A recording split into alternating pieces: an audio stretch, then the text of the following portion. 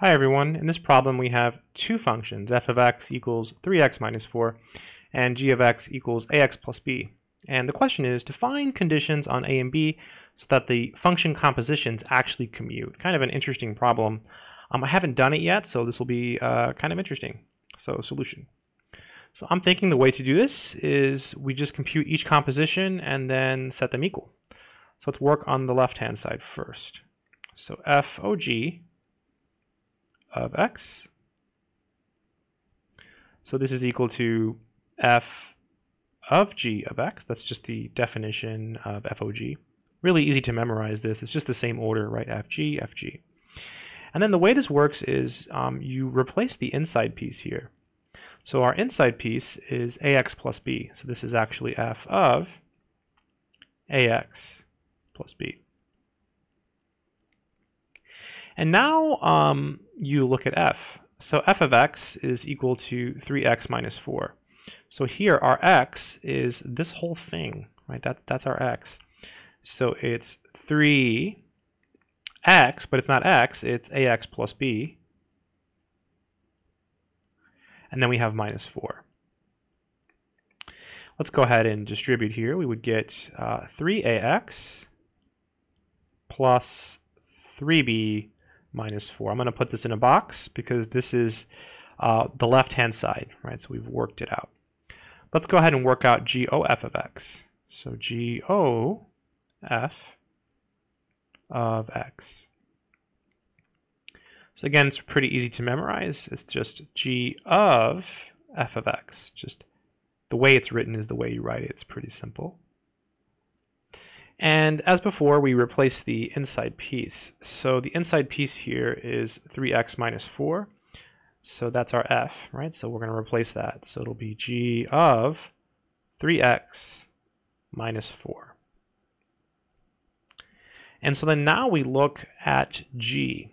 So g of x is ax plus b.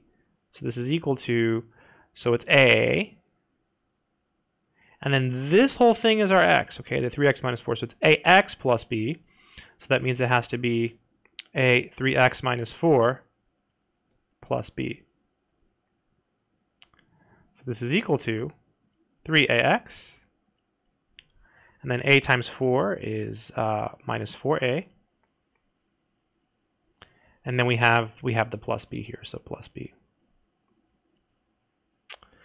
Interesting stuff. Okay, so now we need to figure out what a and b are, or some conditions, or so let, us set them equal. I'll do it up here. So we have 3ax plus 3b minus 4 equals 3ax minus 4a plus b. Did that kind of quick, so let me just explain it. So I took this piece here, 3ax plus 3b minus 4, so that's this one, right? That's that's FOG of x.